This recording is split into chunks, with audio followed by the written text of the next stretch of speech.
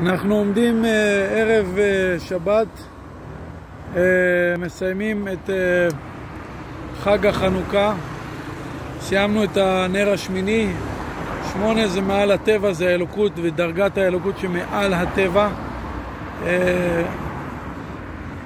הגענו לדרגה השמינית.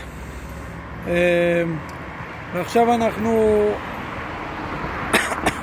ממשיכים את הגילוי של השמונה, של העצם, של השמן, של החסידות, של, ה, של העניין של חנוכה, חנו בכ"ה, וממשיכים את זה לתוך השבת, שבת פרשת מקץ, אה, עניין של יוסף והחלומות, ואני ממליץ ללמוד את השיחה של הרבי בדבר מלכות, של הרבי שליטה מלך המשיח, על עניין של... אה, מהו חנוכה בעצם? מהי חנוכה? הרבי תמיד שואל, מה העניין של חנוכה? דרך אגב, חנוכה, החג היחיד שהולך להישאר בגאולה האמיתית והשלמה, כי האור שלו הוא למעלה מכל שאר החגים. שבת שלום, יחי המלך המשיח, תשפ"ד.